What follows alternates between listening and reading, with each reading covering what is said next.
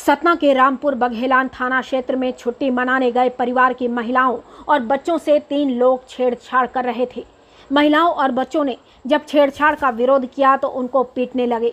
यह देख जब बचाने गए और लोग आए तो उनके साथ भी मारपीट की गई। इस विवाद में महिलाओं और बच्चों समेत परिवार के दर्जन भर लोग घायल हो गए हैं। जब उपद्रव उपद्रवी वाटर पार्क के अंदर उपद्रव कर रहे थे, तब न्यायिक अधिकारियों के परिवार भी वहीं मौजूद थे।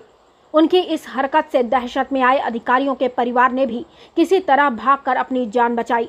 पुलिस ने वाटर पार्क सील कर दिया है। जानकारी के मुताबिक रामपुर बघेलान थाना क्षेत्र के ग्राम रुहिया में वेकेशन वाटर पार्क है।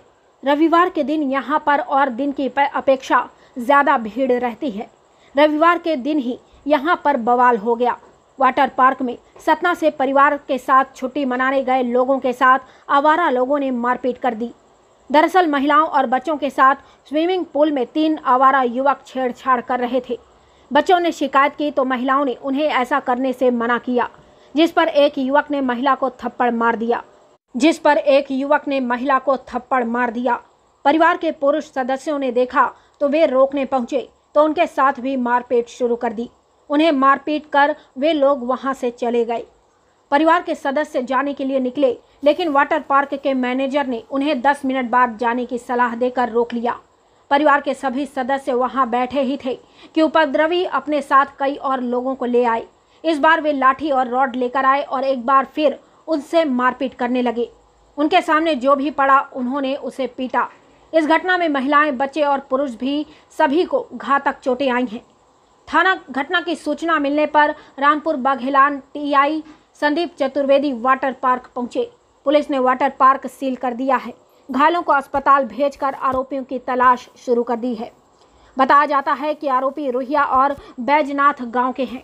वे पत्थर और गिट्टी का अवैध कारोबार करते हैं। वजह से विवाद हुआ। बच्चों को छेड़ रहे थे वो लोग आए थे। फैमिली के साथ हम लोग गए थे हम थे हमारे बड़े भैया थे। और हमारे मित्र हैं पंडित जी उनकी फैमिली थी। हम्म, तो हम लोग वहीं गए थे। पार्क में, वाटर पार्क में स्नान कर रहे थे तो ये लोग जो है बच्चों को छेड़ने लगे। बच्चों को छेड़ने के बाद जब उन्होंने, बच्चों ने अवरोध किया तो बच्चों को जो है मैसेज को, हमारी भाभी को ऊपर हाथ उठा दिया उन्होंने। जब हम रोकने पहुँचे तो हमारे ऊपर चालू हो गए। उसके बाद फिर तीन लोग थे, वो चले गए। उसके बाद मैनेजर वहाँ का जो गार्ड था, वो आया। उसने कहा कि, भाई साहब, आप यहीं अंदर बैठिए और दस मिनट बाद फिर जाइएगा। हम लोग वहीं बैठे रहे उसके बाद वो जो सात आठ लोग आ गए डंडे और बोल दिए थे लोहे के डंडे राड वगैरह उससे आकर हम लोगों को सबको मारने पीटने लगे क्या नाम लेते हैं हमारा नाम अनूप सिंह है। निवासी कहाँ के हैं? मैं उत्तर प्रदेश का हूँ गुरेज का। हम्म, ग्राम पंचायत गुरे प्रधान। यहाँ पे कैसे पहुँचे आप? यहाँ हमारे बड़े भैया रहते हैं उनकी ससुराल है सतना में। सतना में? जी। तो हम्म, यहाँ कल हम लोग आए थे आज संडे था बच्चों का मन था तो घूमने के लिए वाटर पार्क चले गए। हम्म, चलिए ठीक ये वाटर पार्क रामपुर थाना क्षेत्र में है। यहाँ पर झगड़े की सूचना थी। ये सब मालूम चला है कि कुछ लोग घूमने वाले और वहीं के स्थानीय निवासियों के बीच में झगड़ा हुआ है। पुलिस मौके पर पहुँच गई। कार्रवाई जारी है।